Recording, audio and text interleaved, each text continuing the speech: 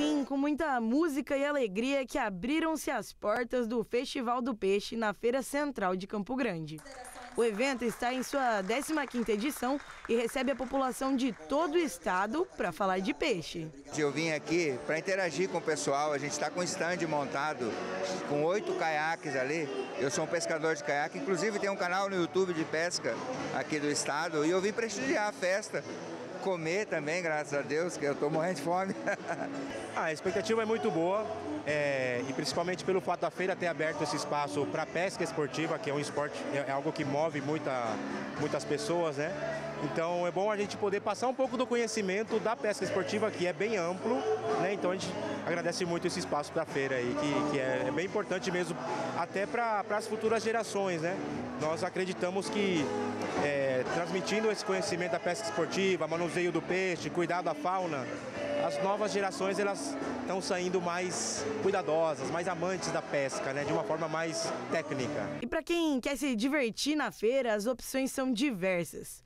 A quarta edição da Feira Cristã, o torneio de arremesso de iscas, prática de arco e flecha, workshops, palestra com um dos maiores influenciadores do nicho de pesca esportiva do Brasil e muito mais. E toda a cultura regional, religiosa, gastronomia e as atrações não são só para os pescadores.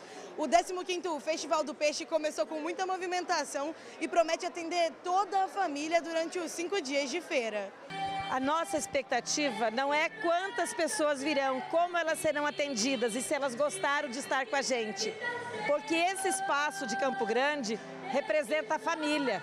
E aqui a família é bem-vinda. Nós temos programação vasta para todos os dias para a família, para todos os gostos. O peixe é o segundo prato mais pedido na Feira Central. A combinação do prato com todas as atrações do festival traz turistas de todo o estado. Sempre festivais né, que trabalham a cultura do nosso estado, como é o festival agora do peixe, junto com a Feira Cristã, movimentam fluxos turísticos, né, especialmente para Campo Grande. Isso é geração de emprego e de renda.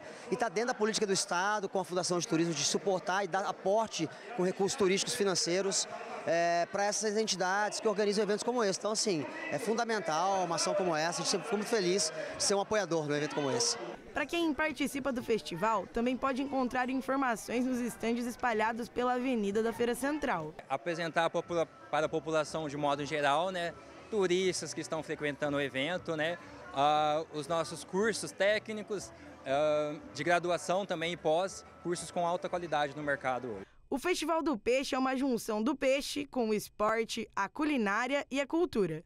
Para quem quer conhecer e aproveitar todas as oportunidades, o evento vai acontecer até o domingo. Vem para Campo Grande, vem para Mato Grosso do Sul. Aqui a pescaria é garantida.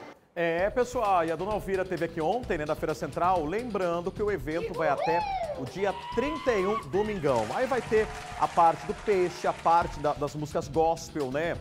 Atração para toda a família. Olha como a feira tá, a feira é lotada, gente. A feira é algo espetacular, é a nossa feira central. Eu vi a feira de Três Lagoas, a nossa, ela é muito bonita. A, a família, né, ela se reúne lá na feira central.